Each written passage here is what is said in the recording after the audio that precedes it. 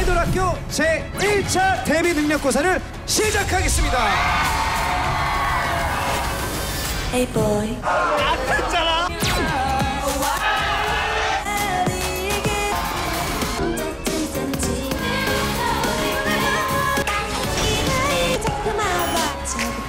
일차 데뷔 능력고사 1등 초는